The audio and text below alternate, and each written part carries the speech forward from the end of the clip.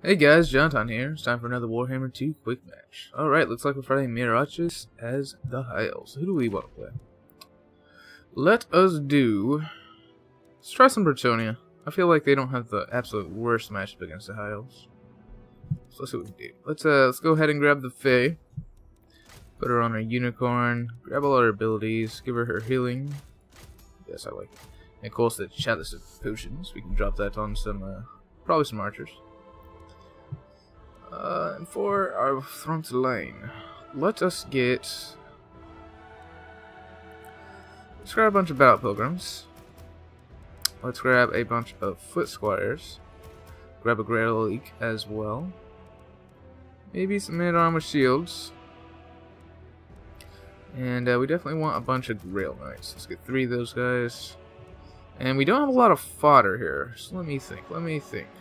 Our line is pretty wide. I guess we don't really need these guys. Let us instead grab some spearmen at armor shields. Seeing that we don't have a lot of infantry for uh, for anti-large, so that'll be pretty good.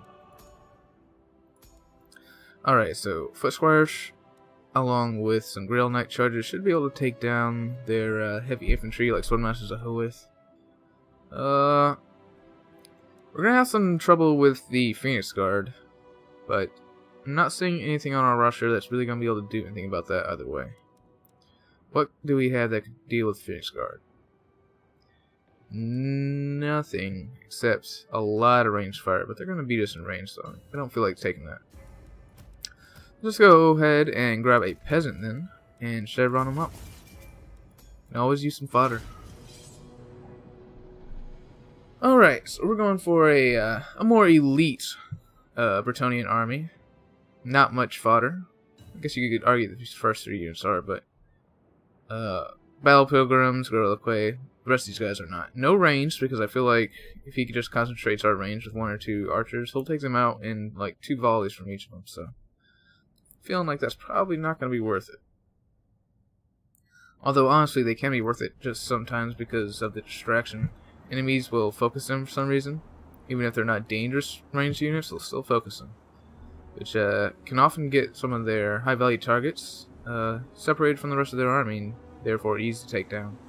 Though granted, they usually are able to take down the ranged unit that they're after. So it's a sacrifice thing. But I find often it uh, goes in my favor. Alright, so we're going to put our peasants up front. We're going to put our spears on the side here with our Grail Knights.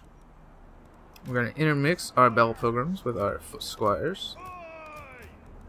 Already looking good. Looking good. So we're going to have a nice wide line here.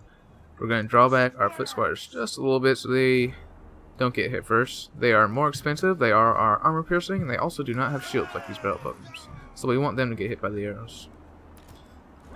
And we will throw this guy right in the center here. Let's see what we can do let us see what we can do. So, uh, he's got one, two, three Eagle Claw bolt throwers. That's very interesting. He's got no Phoenix Guard. He's got a ton of spearmen. I uh, I like this. I like this for us. That is.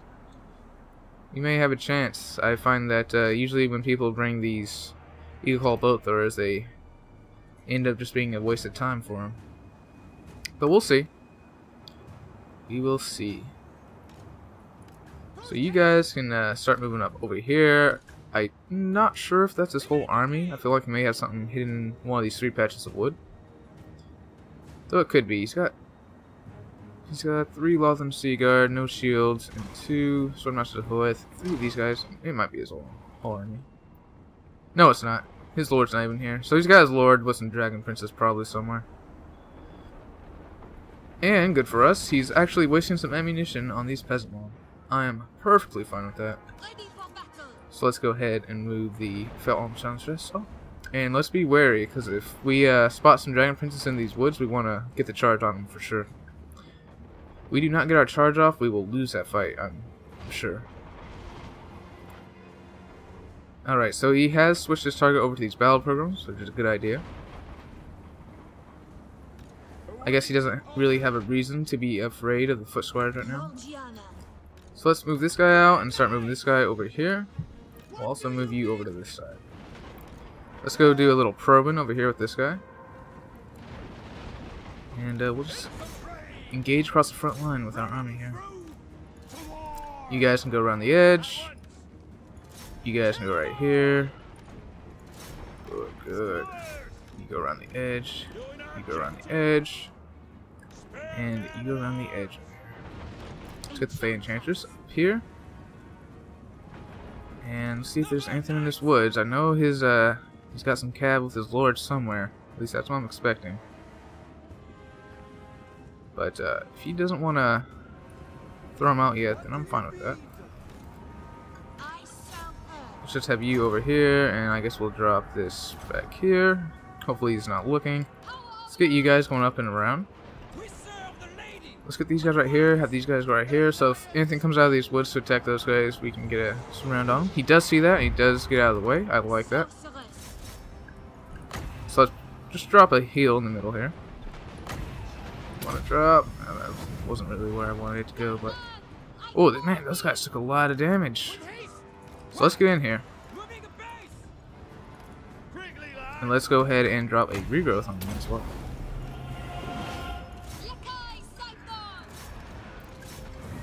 Alright, so y'all get in here. You get in here. You guys can worry about these spearmen. I think we're going to win the front line here. These guys are on their way back. That's good. Let's have you run into the back of them. Let's get you into melee over here. He has some high magic. Let's get y'all into melee over here as well. And you can come just help break the front line. These guys will stop these guys from firing. And good, good, good get you guys into these. I think we're I think it's going pretty well here. He has broken our center, but I'm fine with that. Let's get you guys run over here into the spearmen, and we are getting all his guys offline here. Let's go run into these guys, try to break them. And we yeah, his front line is just falling apart once those cab charges come in. So I thought for sure, where's his lord? Who's he got? Tyrion. Okay, so where's the Fae? Thankfully, uh, thankfully for us, he uh, is not getting Tyrion to go after the Fae, because that would be an easy target for her, especially since I was not doing well on my macro and did not see.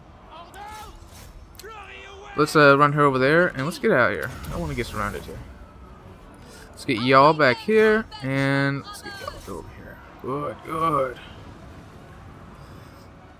Alright, so things are looking okay here. Let's get y'all to go hit these guys. Let's get all y'all pulled back here. That's not a very powerful spell, but uh, why take the extra damage, you know?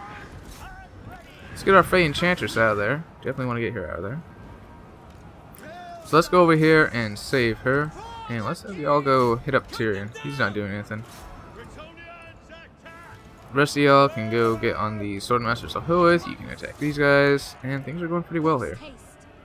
So we got all our guys coming in right here. I like it. We're going to get a nice fat heal. Just yeah, we got most So we're getting some good charges in there, and let's pull back all our horses. Let's get y'all all into these guys. The rest of you guys can come and get into Tyrion, I guess. And we're looking good here. Coming in for the charge. Destroy those sword bastards of Hogwarts. Yes, good, good. And that's going to be it. He is going to see defeat. Alright, so let's look at this in battle breakdown. Fay Enchantress, uh, she was just in the front line providing that drain, doing some, uh, doing some heals. Peasant Mob did their job, uh, threw their bodies in front of arrows. That's all you can ask from these guys. Spearmen at Arm did a good job at just holding up some Lothern Seaguard in the late game there. And our Battle Pilgrims did a really good job at breaking through these Spearmen. They are a unit that is great at taking out lightly armored units and Spearmen armor. So they're, uh, their sword masters of Hoeth just cut through whatever we sent at them, except for our cavalry. I mean, our cavalry is the only thing that's going to be able to do major damage to these guys. So uh, they did pretty great. His Lothern Seaguard also got a lot of good damage onto my cavalry. And his Eagle Claw Bolt Throwers, I think this is why he was lost. These guys, I mean, they got some decent kills, but a lot of it was on Battle Pilgrims, a lot of it was on my two cents, these guys are never worth it. The only reason you would ever want to bring one of these guys is if you really want your enemy to come to you and you don't think they're going to have artillery themselves. In that case, bring one. I never never bring more than one and only bring it in that certain situation. If you ask me, if you if you know of a good use of the Eagle Claw bolt throwers besides to make your enemy come to you, then feel free to tell me in the comments. Uh, as far as Tyrion goes, he used him very, very badly, I gotta say. The Fay Enchantress would have been an easy hunt for him, and I actually lost track of his lore throughout most of the battle, and he could have got on the Fay Enchantress pretty easily and took her out. As for me, uh, my front line, like I said, they broke through those spearmen pretty easily. Foot Squires did too, but once they got into those Swordmasters of Hoeth, they started getting wrecked. And all my killing power came from these Grail Knights. So, pretty good, pretty good. I'm glad he didn't have any cavalry of his own, and I'm glad he didn't have any Phoenix Guard or dragons. That could have made this significantly more difficult. But that's going to be all for this one, guys. This is Jonathan from Total Brohammer signing out.